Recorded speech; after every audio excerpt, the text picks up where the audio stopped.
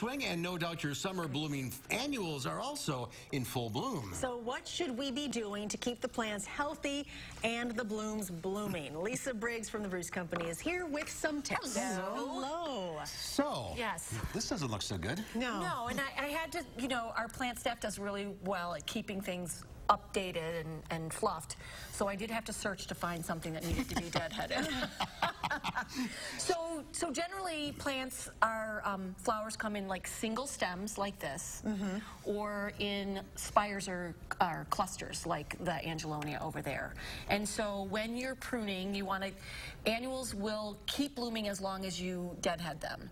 There are some varieties that will sort of self-clean, but mm-hmm. dahlias, which I love, Yeah, and they're they're great. so great for cut flowers, mm-hmm. and so you just basically you want to take this all the way back, Right to the base of right that. Right to the base. Oh, okay. I saw one that was way up here. You don't want to just cut the flower off You don't want that stem like hanging this. out. You don't want this sticking up. Right. That's not very attractive. I've seen people just literally just pop that off, but how you important is it to go all to You want to go go back because if you see right here Mm-hmm. where this leaf node is, there's some buds coming, and that's where your next flowers are going to come from. Oh, so these fresh guys right yes, there. so that's you want to go just down to where some leaves are coming out, and that's where the That- new buds that's, come. what, that's where the new flower will come. That's where the new flower bud will Okay. come. All right. With something that's tall inspired like that one, you want to go back again. You'll find the same thing. You'll find a leaf node with some buds coming out, and you want to go back to that point. And that would be like salvia is a really common one where. Um, where you would go back to that point, cut that entire spire Mm-hmm. off. But this one is fading from the bottom up. Yes, yeah, well it blooms from the bottom up.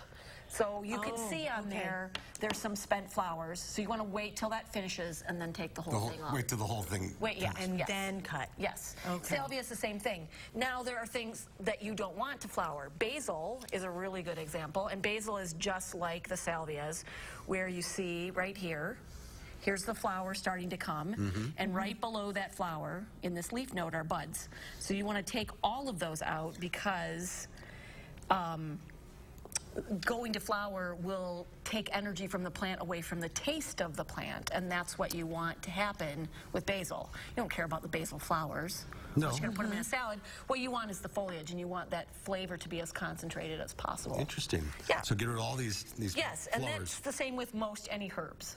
Really? Yes, yeah. So you want to keep those flowers from developing. Is there a certain point when the it'll start to flower? Uh, generally, as it gets hot, everything's starting to flower now. So, So, now's yeah, the time to now's the keep- time to keep, look over to everything. Look over your herb garden. Boy, that definitely. smells good, doesn't it? Doesn't It smell good? does. It's very, very fresh. Yes. So what do you want to deal with all this flowering So stuff? So when you're done with the flowering, well, let's talk a little bit too about watering and okay. fertilizing, We're and getting, then we'll talk. Yeah. getting ahead of ourselves. Okay, yes. So there, if you bought stuff at the garden center, it was probably really well fertilized when you bought it, but now you need to fertilize if you want to keep things flowering. So there are two ways to go. This is what we call a slow release fertilizer. You can just put a capful of that around on the soil at the base of the plant, and as you water it in, then the fertilizer will, the coating will dissolve and the fertilizer will be released. How often do you need to do that? This is like every six weeks. okay. So it's a more of a one-time thing. Okay. This is a water-soluble fertilizer. This is by Jack's, and you mix this with water, and you can either put it on the soil or you can spray the plant.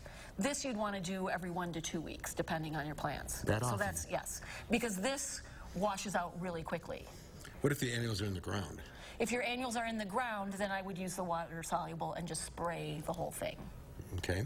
Okay. And now, as far as watering is concerned, that's the that's, That's the the stuff, okay. As far as the watering is concerned, there is you would think that when it's really hot like this, that you need to water every day, but check the soil in your in your garden bed or in your pots because when it gets super hot, sometimes plants will go a little bit dormant and not be using the water. Overwatering at this time of year is almost as common as underwatering. Hmm. So check the oh. soil first. You see them all wilting and collapsed, and it might not be, and you, gen- you're checking your pots are sopped mm-hmm. because they've been overwatered. much. They don't much like wet feet. Exactly. Okay, so if we don't want to deal with any of this Then this get some things that are beautiful without flowers. so this is a really nice coleus. Um, and they will set flowers, just pinch those off. But Okay. um, but the foliage is beautiful, and I thought this was amazing. This is a caladium. I've never seen this color Oh, before, and I thought beautiful. this was. I might buy this. I might not make it back to the garden center tomorrow. gorgeous. Wouldn't blame you. Great tips as usual, Lisa. Thank you. Thank you. Happy gardening. Gardening. Yeah, I think I might do some work in the yard tomorrow. It's supposed to be cooler. Yeah, Okay. smart. All right, we'll be right back with a final check of your forecast.